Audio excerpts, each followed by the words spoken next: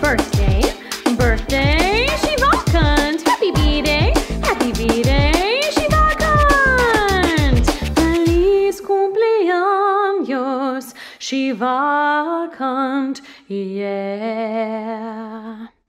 One happy birthday dot com.